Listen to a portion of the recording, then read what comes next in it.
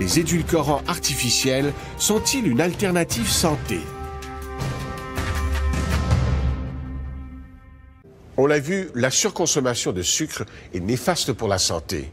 Or, depuis des années, pour protéger leur santé, de nombreux consommateurs se sont tournés vers des produits sans sucre ajouté, comme les sodas diète par exemple. Mais est-ce une alternative valable?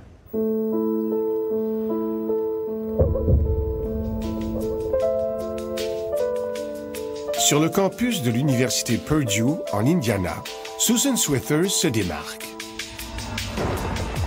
Si elle est inconnue du public, en revanche, au sein de l'industrie américaine des édulcorants artificiels, tous les lobbyistes la connaissent et ils ne l'apprécient pas. Ils n'ont d'ailleurs pas hésité à le lui faire savoir.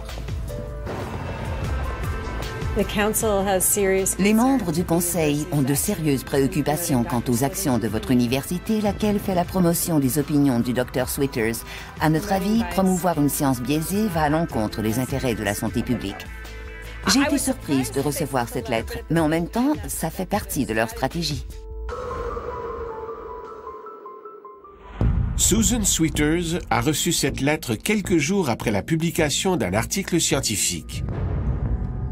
Un article dans lequel passait au crible une soixantaine d'études sur les édulcorants artificiels, notamment ceux utilisés dans les sodas diète. Je suis arrivée à la conclusion qu'il n'existe pas de preuves concrètes que les sodas diète offrent un avantage au niveau de la santé. D'ailleurs, il y a de plus en plus d'indices qui révèlent que ces produits pourraient même nuire à la santé des gens, les rendre plus vulnérables. Les édulcorants artificiels fonctionnent comme des leurres. Ils imitent le sucre, mais leur pouvoir sucrant est jusqu'à 600 fois supérieur. Ils déjouent ainsi les papilles gustatives. Certains édulcorants fournissent peu de calories, d'autres pas du tout. Plusieurs croient que zéro calorie égale zéro problème. Pour ce spécialiste des maladies métaboliques, l'équation est plus complexe. Dans le fond, euh, ces molécules ont, un effet euh, non seulement sur le métabolisme, mais au départ, on pensait également que ces molécules allaient diminuer la propension de l'obésité dans nos populations. En fait, depuis qu'on a introduit euh, les édulcorants artificiels, on n'a vu absolument aucune baisse de l'obésité dans la population. L'obésité continue d'augmenter de façon effarante. Donc, ces molécules ne semblent pas protéger contre l'obésité. Conçus pour limiter la prise de poids, les édulcorants artificiels ne répondent pas aux attentes. Susan Swithers l'explique par un effet de distorsion cognitive. Quand les gens croient que les produits diète sont santé, ils s'autorisent plus facilement quelques écarts caloriques. C'est donc possible qu'en buvant un soda diète, ils décident de prendre une autre pointe de pizza.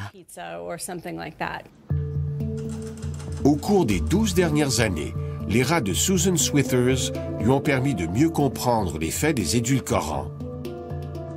Elle sait maintenant que ces produits peuvent déjouer bien plus que les papilles gustatives. Quand l'animal consomme un édulcorant, son cerveau s'attend à recevoir du sucre, de l'énergie. Il est conditionné ainsi. Mais après un certain temps, son cerveau s'habitue, au point d'éprouver de la difficulté à différencier le sucre de l'édulcorant. Les animaux qui ont été soumis à une diète riche en édulcorants artificiels ne produisent plus les mêmes réactions lorsqu'ils sont exposés à du vrai sucre. C'est comme si le corps ne reconnaissait plus le sucre et ne produisait plus les hormones pour l'éliminer. Nous observons chez ces animaux une augmentation des niveaux de sucre dans le sang, une réduction des niveaux d'hormones qui contribuent notamment à la régulation de la glycémie et à la sensation de satiété. Et à long terme, ça peut devenir problématique. Si c'est ce qui se produit chez les gens qui boivent des sodas diète, ça pourrait donc expliquer l'apparition du diabète et des maladies du cœur. Récemment, une étude a attiré l'attention d'André Marette et celle de la communauté scientifique. Controversée, cette étude portait sur le microbiote intestinal de souris et d'un groupe de sept personnes. Sa conclusion Certains édulcorants mèneraient à l'intolérance au glucose, un signe avant-coureur du diabète. Ce qui est vraiment incroyable avec cette, euh, cette, étude, c'est qu'on a pu démontrer pour la première fois que les édulcorants pouvaient agir sur le microbiote intestinal et même démontrer que ces perturbations du microbiote étaient impliquées dans les complications métaboliques associées à la prise de ces édulcorants artificiels.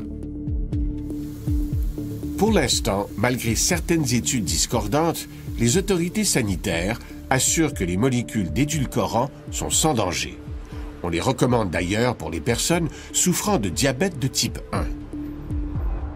Elle aide peut-être à gérer euh, la glycémie chez les gens diabétiques, mais encore une fois, c'est très débattu actuellement à cause de ces études qui démontrent les effets pervers de certaines de ces molécules sur le microbiote intestinal. Autre bémol, les femmes enceintes. On suggère qu'elles limitent leur consommation d'édulcorants artificiels. Une mise en garde renforcée par de récentes études. Le goût des enfants se forme dès la grossesse et se poursuit lors de l'allaitement. Le plaisir du sucre commence tôt. D'ailleurs, de récentes études ont trouvé des traces d'édulcorants artificiels dans le lait maternel. On en a même retrouvé chez les mères qui disaient ne pas en consommer. Nous n'en avons pas toujours conscience, mais plusieurs produits sans sucre ajouté contiennent en fait des édulcorants artificiels. Ces produits sont alors moins caloriques, un argument séduisant. Bien qu'aucune catastrophe sanitaire n'ait été observée depuis leur mise en marché, les craintes du public demeurent, notamment en ce qui a trait au cancer. Pourtant, rien de tel n'a été prouvé. Il est vrai qu'à forte dose, la consommation de certains édulcorants chez le rongeur augmente l'incidence du cancer. Toutefois, les doses administrées en laboratoire sont bien supérieures à celles observées chez l'humain. Aujourd'hui, la stevia soulève les mêmes craintes. Cet édulcorant naturel à base de plantes remplace peu à peu l'aspartame dans l'alimentation industrielle. Pour l'instant, le stevia semble avoir moins d'effets notifs que d'autres édulcorants, mais il faut dire qu'il y a moins de recherches qui ont été faites sur cette molécule qui est sur le marché depuis moins longtemps. Néanmoins, euh, pour l'instant, ça semble être un, édulcorant qui ne euh, semble pas avoir trop d'effets euh, négatifs, ne semble pas être associé au cancer. Mais sur la prise de poids, il y a quelques études qui suggèrent que ça pourrait effectivement le favoriser. Après avoir passé des milliers d'heures en compagnie de ses rats, Susan Swithers est maintenant convaincue que les édulcorants ne sont pas une alternative santé au sucre raffiné. Plusieurs personnes croient qu'en se tournant vers les édulcorants artificiels, elles en tireront automatiquement des bénéfices au niveau de leur santé. Or, c'est faux. Malheureusement, ces produits diètes font partie d'un système alimentaire malsain. Ça peut sembler une bonne idée, mais changer le sucre pour les édulcorants artificiels ne produira pas nécessairement les bienfaits auxquels les gens s'attendent.